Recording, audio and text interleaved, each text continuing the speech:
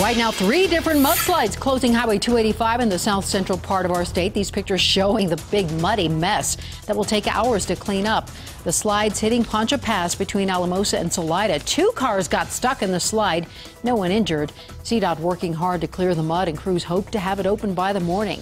Stick with the 7 News Now team or follow us on Twitter, and I'll be sure to let you know when that road reopens.